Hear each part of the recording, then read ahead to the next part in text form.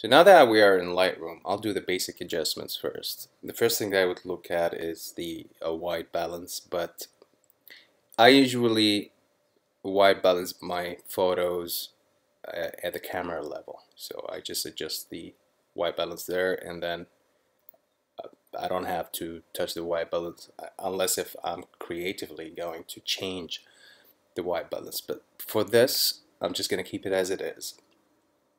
Now, the first thing I would do, I remember at that day, it was really, really cloudy day. So we have, we have some clouds around here, but they're not visible. So we're going to recover those highlights.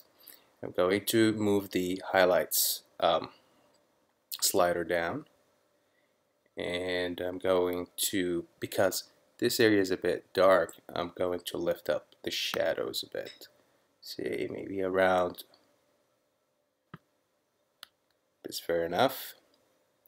For the blacks, hmm, let's see, maybe around, yeah, around 28 is good. Looking up, I can still further um, reduce the, or recover the highlights. So I'm going to put the slider down a bit. Put the exposure just a tad, about maybe 30 minus 0.39. Yeah, I'm happy with that. Okay.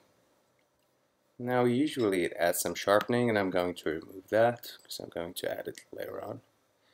And I will add just a tad, a touch of noise reduction. Um, yes, I was shooting at ISO 500, but this camera handles the uh, the high level uh, ISO sensitivity really well. Alright, that's it for Lightroom. Now we're going to move in Adobe Photoshop.